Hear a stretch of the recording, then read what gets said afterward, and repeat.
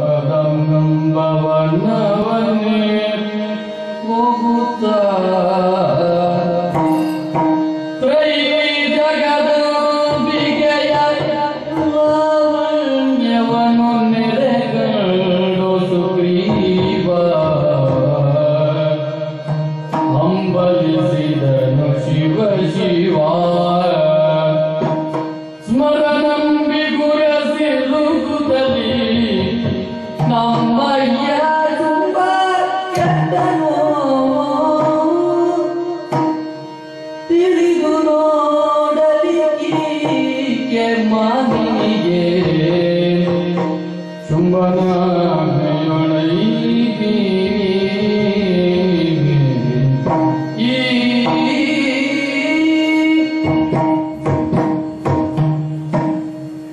ಶುಂಭ ಮಹಾರಾಜರಿಂದ ಅಪ್ಪಣೆಯನ್ನು ಪಡೆದು ಈ ಒಂದು ಸಂಧಾನ ಕಾರ್ಯದಲ್ಲಿ ಯಶಸ್ವಿಗೊಂಡು ನಾನು ಬರುತ್ತೇನೆ ಎಂಬ ವಚನವನ್ನಿತ್ತು ಮುಂದಡಿ ಇಟ್ಟಿದ್ದೇನೆ. ಲೋಕದಲ್ಲಿ ಎರಡು ವರ್ಗದ ಜನರಿದ್ದಾರೆ. ಒಂದು ಆಜ್ಞಾಪಕ, ಇನ್ನೊಂದು ಆಜ್ಞಾಪಾಲಕ. ಈ ಈರುವರ ಸಂಬಂಧ ಹೊಂದಾಣಿಕೆ ಉತ್ತಮವಾಗಿದ್ದರೆ ಯಾವುದೇ ಕೆಲಸ ಕಾರ್ಯಗಳಿರ್ಬೋದು ಅಥವಾ ರಾಜ್ಯದ, ದೇಶದ ಆಡಳಿತ ಇರಬಹುದು, ಸಸೂತ್ರವಾಗಿ ನಡೆಯಲಿಕ್ಕೆ ಸಾಧ್ಯ. ಈ ವೈಫಲ್ಯತೆಯಲ್ಲಿ ಇಬ್ಬರು ಕಾರಣಕರ್ತರಾಗ್ತಾರೆ. ಆಧ್ಯಾಪಕ ಯಾವುದೇ ಒಂದು ಕೆಲಸ ಕಾರ್ಯ ಇರಲಿ ಅಥವಾ ಒಂದು ದೇಶದ ಆಡಳಿತ ಇರಲಿ ರಾಜ್ಯದ ಆಡಳಿತ ಇರಲಿ ಅದನ್ನು ಸಸೂತ್ರವಾಗಿ ನಡೆಸುವಾಗ ಅದರ ಹಿನ್ನೆಲೆ, ಅದರಿಂದ ಆಗು ಹೋಗುಗಳು, ಒಳಿತು, ಕೆಡುಕುಗಳ ಬಗ್ಗೆ ಸರಿಯಾದ ವಿಮರ್ಶೆಯನ್ನು ಮಾಡಿ ತನ್ನ ಆಜ್ಞಾ ಪಾಲಕರಿಗೆ ಆಜ್ಞೆಯನ್ನು ನೀಡಬೇಕು. ಒಂದೊಮ್ಮೆ ಆಜ್ಞೆಯನ್ನು ನೀಡಿದ ಕ್ಷಣಕ್ಕೆ ಆ ಕೆಲಸ ಸಸೂತ್ರವಾಗಿ ನಡೀತದಂತ ಹೇಳಲಿಕ್ಕೆ ಆಗುವುದಿಲ್ಲ ಯಾಕೆಂತ ಹೇಳಿದ್ರೆ, ಆಜ್ಞಾ ಪಾಲಕರು ಆಜ್ಞಾಪಕನ ಆಜ್ಞೆಯನ್ನ ಶಿರಸ ವಹಿಸಿ ಮಾಡಬೇಕಾದ ಅವರ ಕರ್ತವ್ಯ. ಇಲ್ಲ ಅಂತ ಹೇಳಿದ್ರೆ ಯಾವ ಕೆಲಸವೂ ಸಸೂತ್ರವಾಗಿ ಸಾಗುವುದಿಲ್ಲ.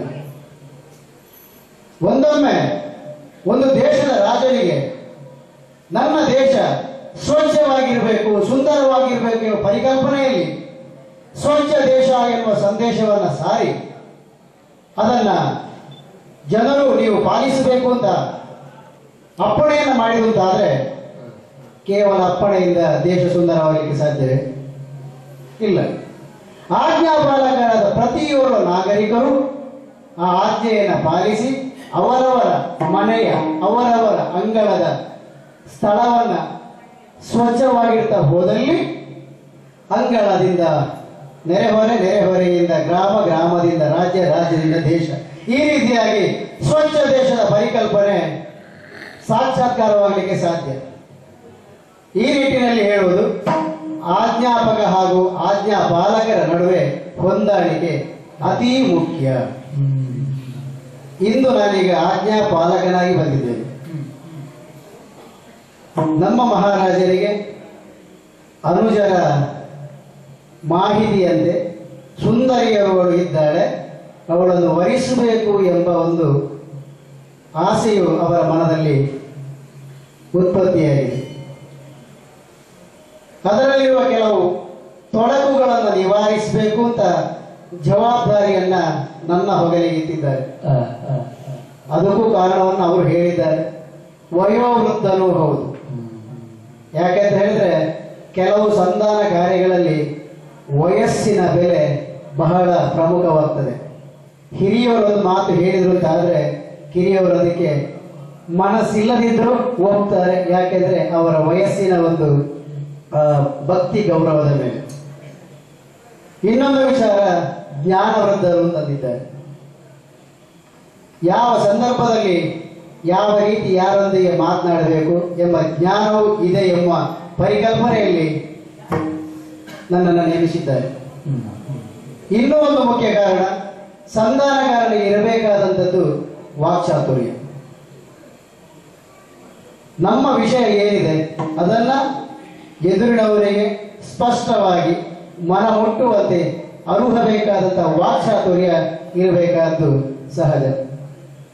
ಈ ಎಲ್ಲ ರೀತಿಯಲ್ಲಿ ಈ ಒಂದು ಸಂಧಾನದ ಗುರುತರವಾದಂತಹ ಕಾರ್ಯವನ್ನ ಮಹಾರಾಜರು ನನ್ನ ಹೊಗಲಿಗಿತ್ತಿದ್ದಾರೆ ಅದನ್ನು ಶಿರಸಾವಹಿಸಿ ಈ ಕದಂಬವನವನ್ನು ಪ್ರವೇಶಿಸಿದ್ದೆ. ಆದರೆ ಏನು ನೋಡು?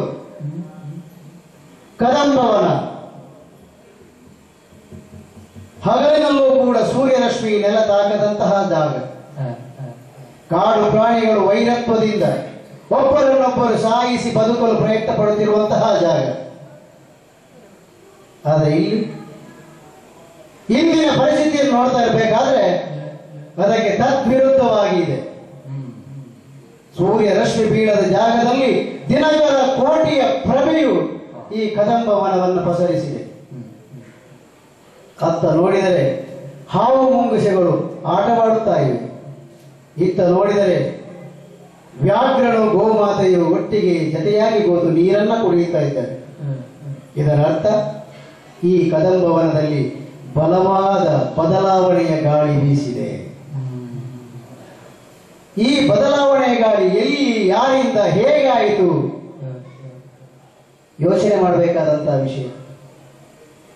ಕೇವಲ ಪ್ರಭೆ ಮಾತ್ರವಲ್ಲ ಇಲ್ಲಿರುವ ಕ್ರೂರ ಮಗಳ ಮನಸ್ಸನ್ನು ಕೂಡ ಪರಿವರ್ತಿಸಿ ಆಪ್ಯಾಯತೆಯಿಂದ ಒಬ್ಬರಿಗೊಬ್ಬರು ಪ್ರೀತಿಯಿಂದ ಬದುಕುವಂತಹ ಒಂದು ಶಾಂತವಾದ ವಾತಾವರಣವನ್ನು ಇಲ್ಲಿ ನಿರ್ಮಿಸಿದ್ದಾರೆ ಅಂತ ಆದ್ರೆ ಇಲ್ಲಿ ಬಂದು ನಿಂತಹ ತರುಣಿ ಸಾಮಾನ್ಯರಲ್ಲ ಎಂಬುದು ನನ್ನ ಮನಸ್ಸಿಗೆ ಗೋಚರವಾಗ್ತಾ ಇದೆ.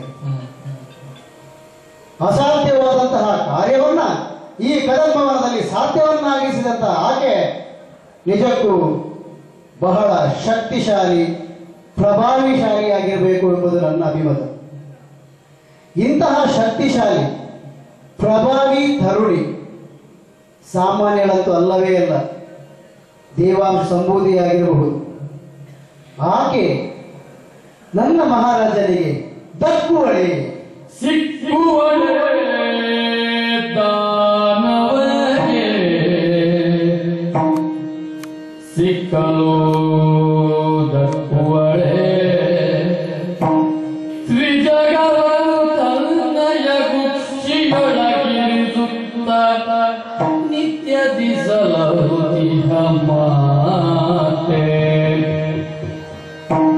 ಮಕ್ಕಳ ಟಿಕೆಯಾಯಿತು ನಮ್ಮದು. ಮಕ್ಕಳಾಟಿಕೆಯಾಯಿತು ನಮ್ಮದು. ರಕ್ಕಸಾಲಯ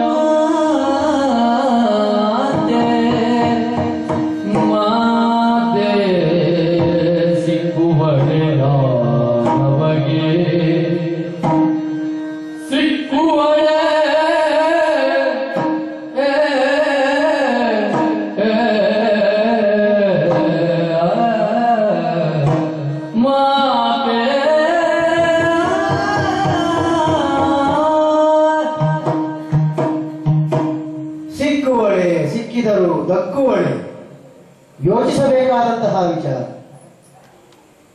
ಈಕೆಯನ್ನು ನೋಡಿದಾಗ ದೇವ ಸಂಭೂತೆ ಎಂಬುದರಲ್ಲಿ ಸಂಶಯವಿಲ್ಲ. ಮೂರು ಲೋಕವನ್ನ ತನ್ನ ಕಣ್ಣಂಚಿನಲ್ಲಿ ಅಲುಗಾಡಿಸಬಲ್ಲಂತಹ ಜಗನ್ಮಾತ ನಮ್ಮವರಾದರೂ ದಾನವರು ವರಬಲದಿಂದ, ತನ್ನ ತೋಳು ಬಲದಿಂದ ಲೋಕವನ್ನು ಗೆದ್ದಿರಬಹುದು. ಹಾಗಂದ ಮಾತ್ರಕ್ಕೆ ಜಗನ್ಮಾತೆಯೊಂದಿಗೆ ಹೋರಾಟ ಅಷ್ಟು ಸುಲಭವಲ್ಲ. ಏನೋ ಒಂದು ಸಂಶಯದ ಸುಳಿ ನನ್ನ ಮನಸ್ಸನ್ನು ತಾಕ್ತಾ ಇದೆ. ವಿನಾಶಕಾಲ ವಿಪರೀತ ಬುದ್ಧಿ ಎಂಬಂತೆ ದಾನವ ಕುಲದ ಅಳಿವಿನ ಅಂಚು ಸಮೀಪಿಸುತ್ತಿದೆಯೋ ಎಂಬ ಒಂದು ಸಂಶಯ. ದಾನವನಿಗೆ ಈ ದೇವಸಂಬೋಧೆಯಾದ ತರುಣಿ ಸಿಗಲು ಸಾಧ್ಯವೇ? ಒಂದೊಮ್ಮೆ ಇದನ್ನ ನಮ್ಮ ದಾನವರಿಗೆ ಅರುಹಿದರೆ ಅವರು ಕೇಳುವ ಪರಿಸ್ಥಿತಿಯಲ್ಲಿದ್ದ ಇಲ್ಲ. ಇದನ್ನೆಲ್ಲ ಯೋಚಿಸುವಾಗ ಜಗನ್ಮಾತೆಯ ಏನೋ ಒಂದು ಲೀಲೆಯೇ ಇದು ಎಂಬುದು ನನ್ನ ಮನಸ್ಸಿಗೆ ಬರುವಂತಹ ಭಾವನೆ. ಆದರೆ ನಾನು ಬಂದಂತಹ ಕಾರ್ಯ ನನ್ನ ಒಡೆಯನ ಸಂಧಾನಕಾರನಾಗಿ ಬಂದಂಥದ್ದು ಒಡೆ